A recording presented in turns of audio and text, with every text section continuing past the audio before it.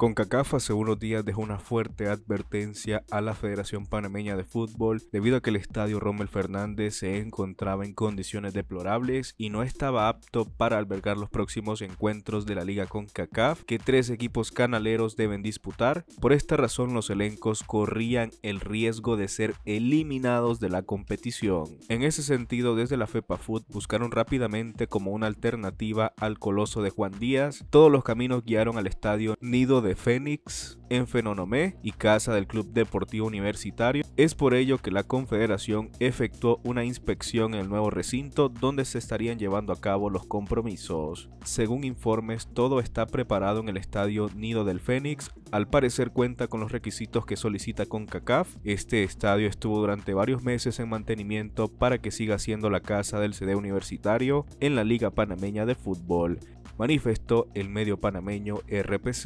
De igual forma, el director general de Pan Deportes, Héctor Brands, confirmó que a partir del 10 de agosto todos los conciertos que estaban programados a realizarse en el estadio Rommel Fernández estarán cancelados.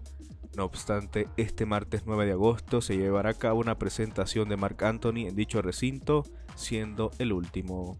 RPC informó que el estadio Rommel Fernández estuvo cerrado por mantenimiento luego de que se detectara un hongo que se ha encargado de dañar la grama y se volvió a abrir en aquel partido de Liga con CACAF. Sin embargo, la lluvia ha complicado la recuperación del césped.